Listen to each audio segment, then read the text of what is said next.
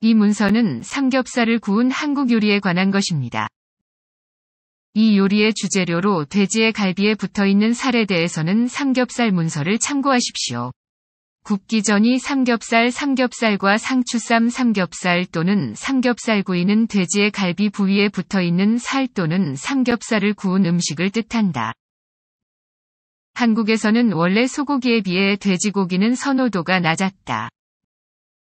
그러다 1970년대에 들어 정부가 소고기값 안정 대책으로 돼지고기 소비 육성책을 적극 펼치기 시작하였고 1980년대에 이르러서는 돼지보쌈이 유행하기 시작했다.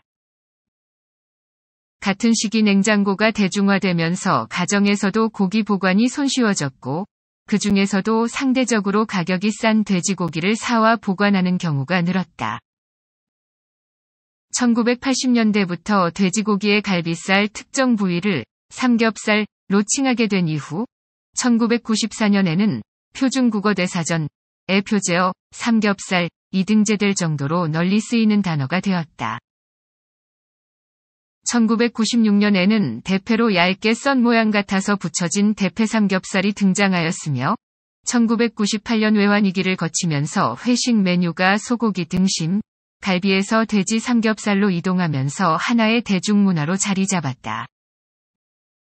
2010년대 들어서부터는 보통의 삼겹살에 칼집을 넣은 칼집 삼겹살로 발전하였다.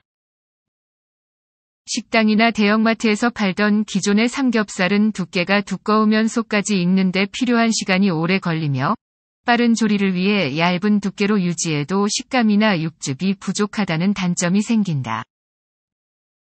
때문에 두께를 두 배로 늘리고 고깃결을 따라 조금씩 칼집을 넣어 두께는 두꺼워도 열을 접하는 면적은 늘려 속까지 잘 익게 만들었다.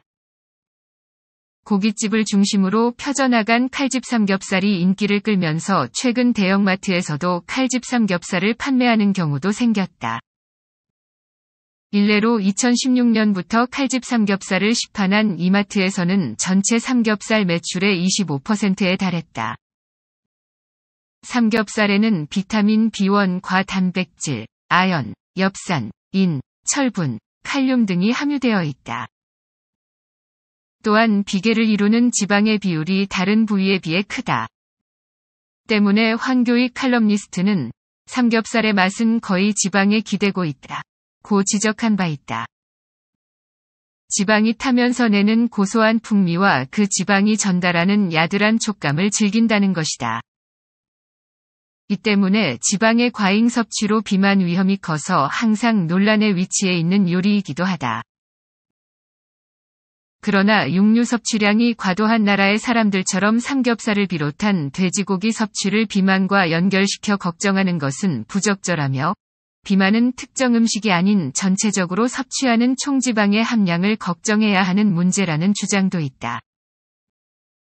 황사와 미세먼지를 이겨내는 음식으로 인식되기도 하며 봄이나 야외 활동이 많은 계절이 되면 삼겹살의 수요가 크게 증가한다. 과거 강원도 태백과 영월의 탄광에서는 하루 일과를 끝낸 광부들이 목에 걸린 먼지의 배출을 돕는다는 속설로 삼겹살을 구워 먹었다고도 전해진다. 이에 대해 한국식품연구원은 2007년 돼지고기가 카드뮴과 납 등 중금속이 신체에 쌓이는 것을 일정 부분 막는다는 연구 결과를 발표하기도 했다. 한편 2017년 3월 식품의약품안전평가원은 삼겹살을 구워 먹을 때 상추, 양파, 마늘 등과 같이 먹으면 발암성 물질 발현을 60% 억제한다고 발표했다.